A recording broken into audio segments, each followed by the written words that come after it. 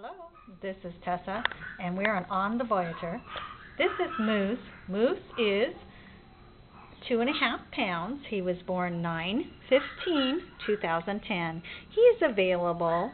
Um, you just have to go to onthevoyager.com. Thanks.